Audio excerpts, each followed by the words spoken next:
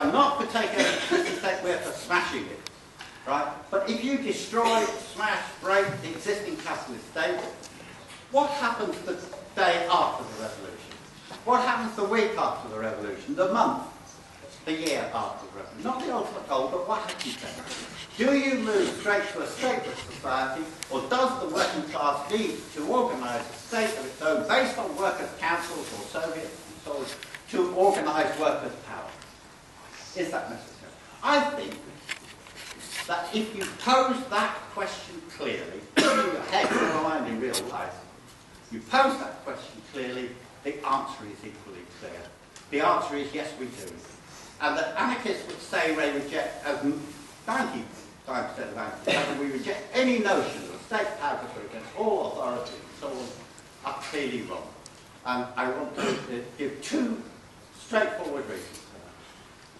The first reason is quite simply that the class state, the need for state apparatus, state uh, at all, derives from the fact that society is divided into classes and there's class struggle. The state is an apparatus for defending the power of the ruling class. Okay? But the, the day of, the day after, the week after, the month after a revolution, it changes which is the ruling class, the capitalist class the working class, it doesn't abolish classes.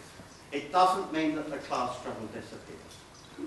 The whole history of all attempts to create a better society and of all revolutions from 1848 in Paris through the Paris Commune onwards to, to the most recent ones shows that when working class people start to organise themselves run society, especially if they succeed in one part of the world in doing so for a short while, the ruling class, the old capitalist class, doesn't give up and go away. Why would they?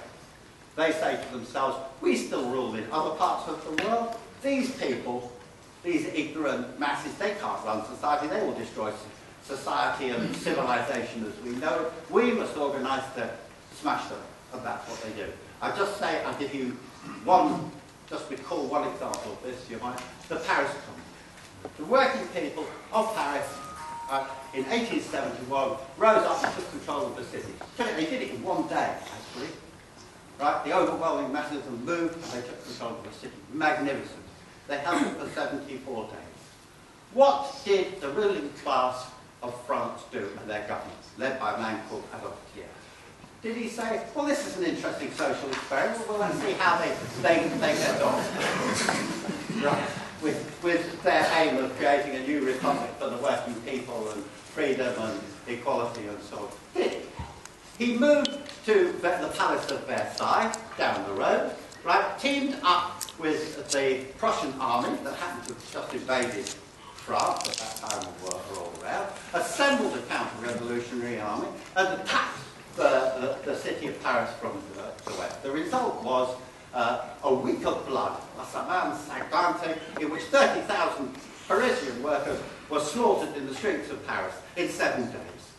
Right? That, that was what they did. And that can serve as a model for what they've always done. What they've always done.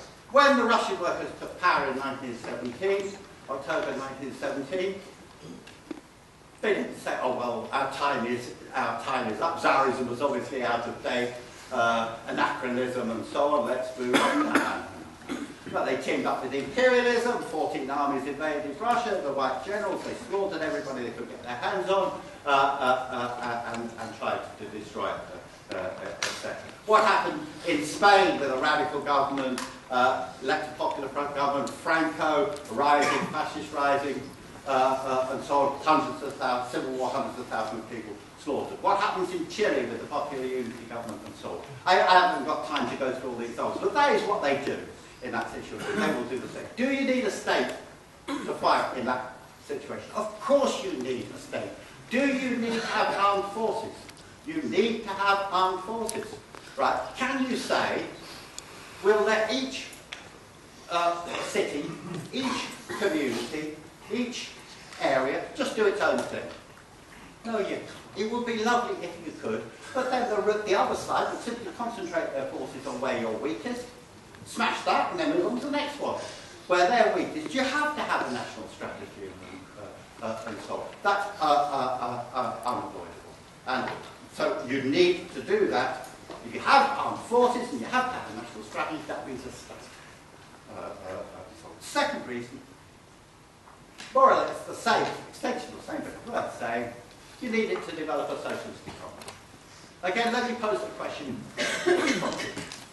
who will own and run on the day after the revolution, or the week after, or month after, the hospitals, the schools, the railway system, uh, uh, the tra transport in general, the welfare system. Who will pay unemployment benefit? Who will help the sick and disabled? And, uh, uh who will do things? Now, if you say, well, the communities will do them all by themselves, wonderful, eventually. But in a revolution, communities are divided. They're not united. If the community was just all united, you wouldn't need a revolution, would you? There is a big class division in the community.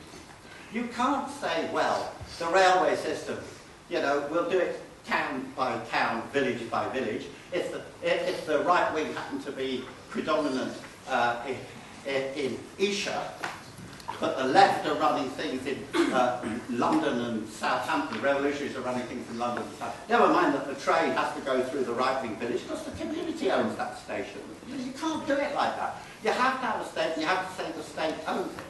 If you, are you going to cut off all unemployment benefit and all sickness benefit and everything like that for people the day after uh, the revolution? I know you can say that under socialism or anarchism you wouldn't have unemployment. That's true, but that won't be true a week after the revolution.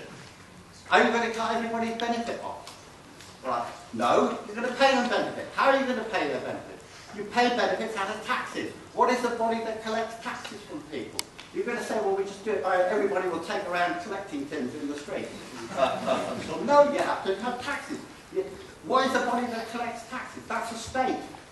You have, you know, so there's no choice in that situation but to run and develop a economy. You have to, you have, you have to state. If you say, in the immediately post-revolution situation, we reject all authority, nobody's got a right to take any taxes because don't allow anybody to do that. Nobody's got a right to tell anybody what to do, so we won't have any armed forces. Nobody who would do any of those things, no matter how democratically controlled they are or whatever, what does that mean? I'll tell you what it means. It means the counter-revolution will be.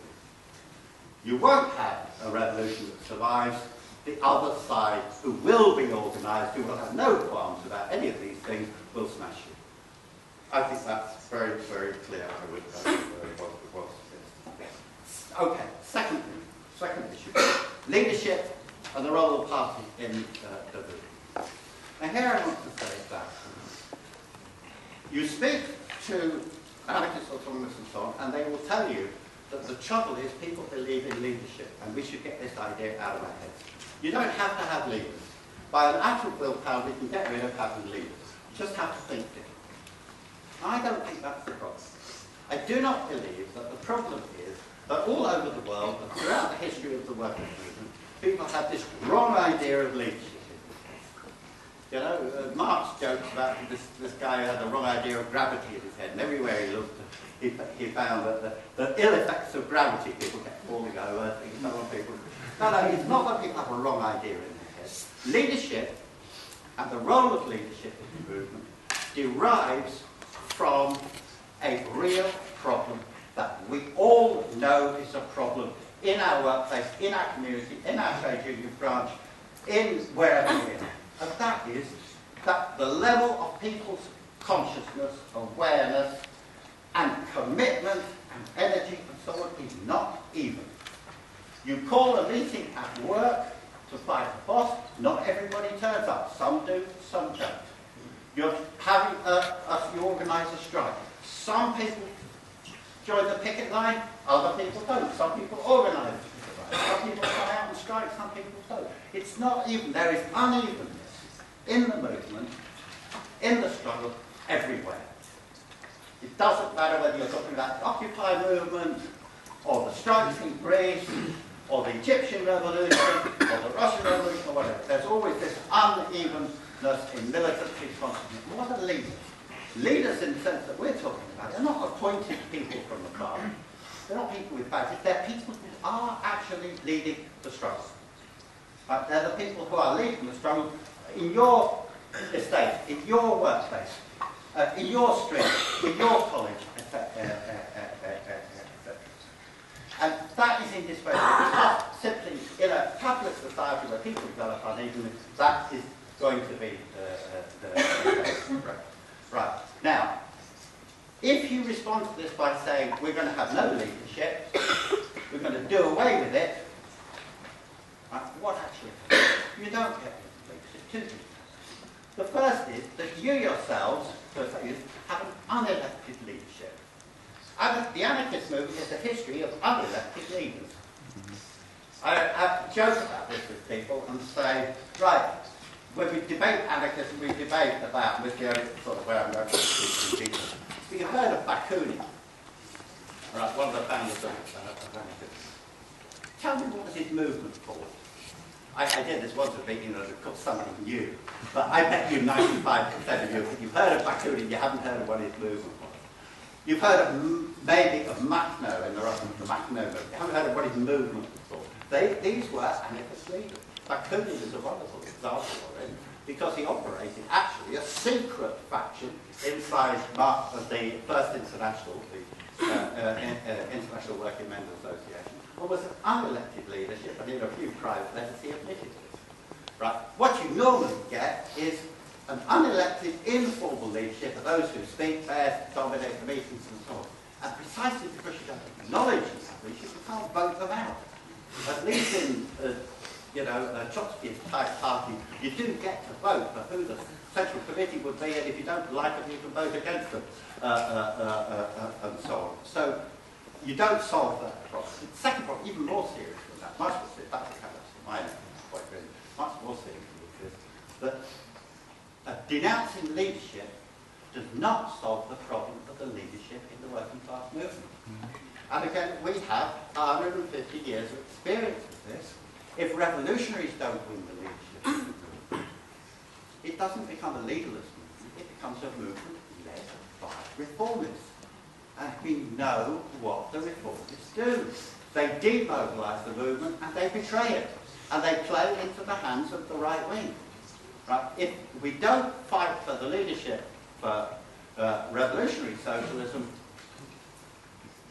the, the Blairs the Miliband and the ancestors of the Blairs of Miliband, the Noskes and Scheidemanns who murdered Rosa Luxemburg yeah. and Karl Liebknecht in the German Revolution, or the Allende's who paved the way, unfortunately, for the Pinochet coup in Chile, or the leaders of the Spanish Popular Front who failed to mobilize the way to let Franco win, and so on and so forth, they will dominate and will sell Now, when we talk about fighting for leadership, it's clear what we we don't mean that the leaders of the SWP engage in a punch-up with the leaders of the Labour Party as to who will be leaders.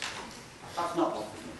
We don't mean fighting for leadership is fighting other leaders. We mean working to persuade, to win over all those people who I said are the actual leaders of, uh, uh, of the class in struggle, all those people who are leading it in the workplaces, in, on the estates, in to win them over.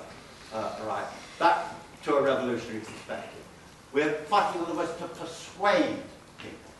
Now, to do that, what you have to do is you have to organize, bring together, and get to work together those key people. Those people who are the actual, the more militant element, those, those people who do want to see socialist and revolutionary change in all the struggles and of the, uh, of the working class. And that is what we're talking about when we're talking about you need a party. Not people to rule the working class, but people to win the working class for what needs to be done in the struggle to secure the, the victory in the, uh, in the revolution.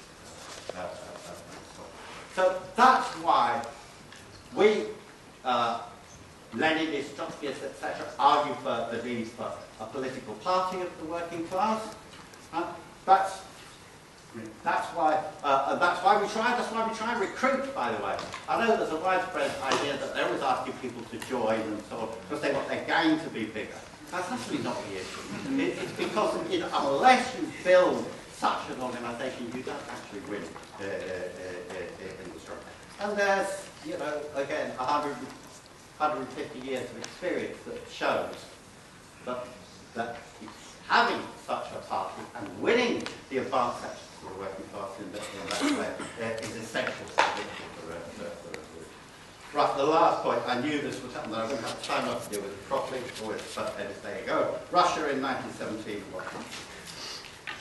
there is a belief that all of what I'm saying might or might not be true, but look what happened in Russia.